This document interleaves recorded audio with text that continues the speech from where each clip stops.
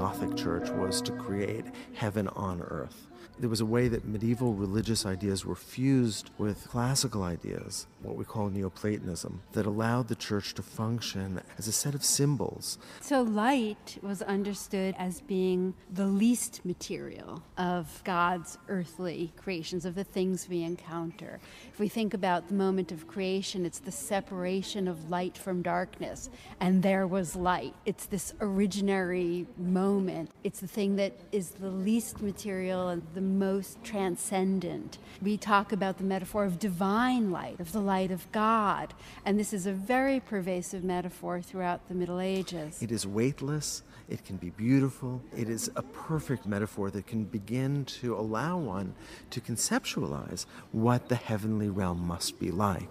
And so it really becomes a priority for the Gothic architects to allow as much light into the church as possible. One of the ways that that becomes possible is through the use of the flying buttress, where in the Romanesque church a window was a hole, a space surrounded by wall. What we get in the Gothic church is the supporting structure pulled out of the church through the flying buttress, which holds up the edifice but allows for a complete opening up or nearly complete opening up of the walls. One of the real problems was that while one could bring down the enormous weight of the stone vaults down on huge piers on the inside of the church. Those piers would have to be so thick that they would actually become a kind of wall. And that's what we see in the Romanesque That's right. That's right. And of course, the walls themselves were supporting, and so they couldn't be opened up. The windows were very, very small, and the emphasis was certainly not on those windows. Those churches tended to be quite dark.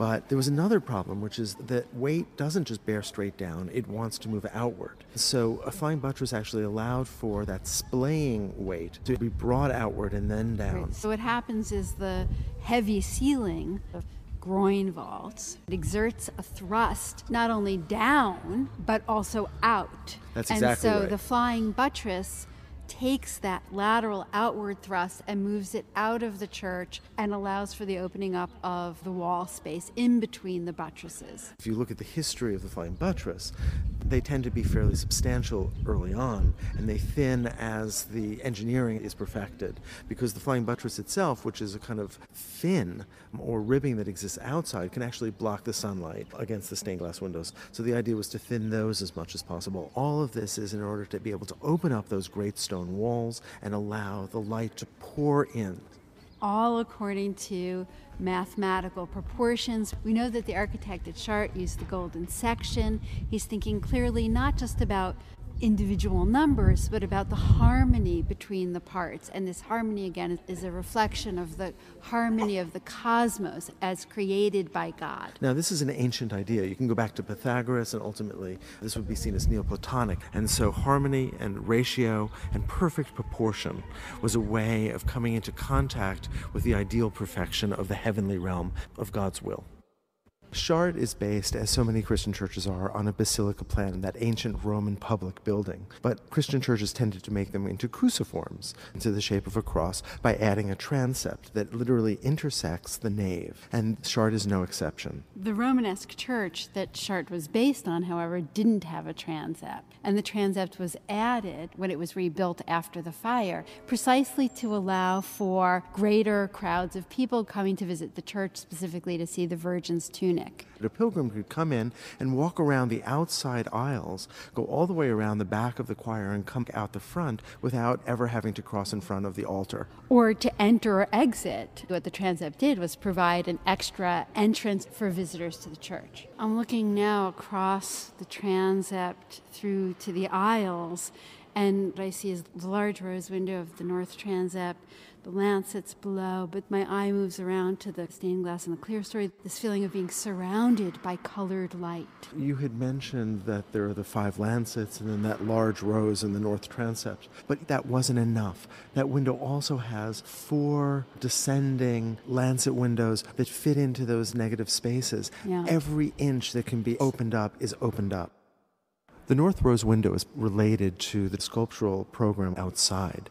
In the center of the rose is the Virgin Mary with her child.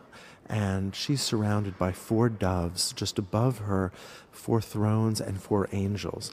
Outside of that, in the diamond shapes, are the kings of Judea who were believed to have been her ancestors. And beyond that, 12 minor prophets. So the idea is that from the very beginning, this was God's plan for mankind to save mankind through the prophets and the ancestors of Mary and Christ from the very beginning of creation. The church is still a vehicle for education. Let's walk under the rose window, go outside at the north end of the transept. We're looking at the north transept at Chartres, and it protrudes pretty substantially from the church. It's a deep porch or entranceway into the church, and you can imagine people gathering here. It's big enough that it almost seems like it could be a church itself. The outwardmost of the archivolts is linked directly to the archivolt that's just inside that. They show hand in hand God as creator and then that which he creates. God speaking the word and the word becoming material. At the lower left side, God gesticulating, and then just inside that, the waters and the earth, and they're separate. So the first uh, page of Genesis enacted. And then God creates Adam and Eve, looking a little bit more thoughtful as he creates Adam and Eve, maybe even a little worried. I think. I think that's right. this entire portal is devoted to the time before Christ. That's right, with a focus especially on Mary, who we see being crowned in heaven by Christ in the tympanum.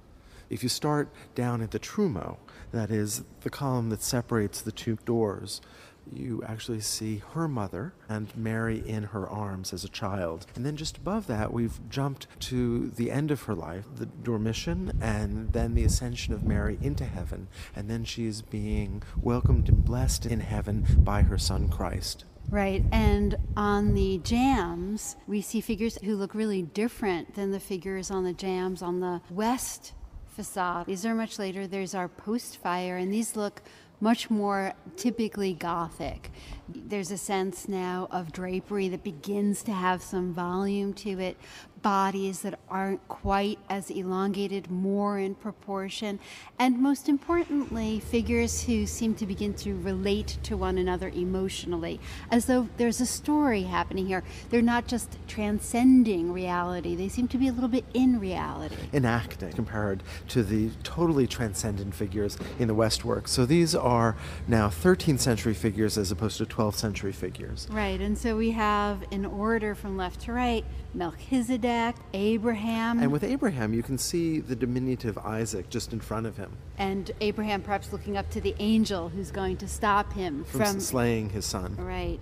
We move on to Moses, Samuel, David, And then on the right side, Isaiah, Jeremiah, Simeon, and John the Baptist, and then St. Peter, who we can see holding the keys to the kingdom. Old Testament prophets, according to the Catholic tradition, foretold the coming of Christ. Right. Ending here with St. Peter, who's the founder, the rock. I'm looking up now at their faces, and they're so much more individualized than the faces that we saw on the West Portal, so much more emotional. And I'm looking especially at John the Baptist, who almost seems to plead with us as he looks down at us.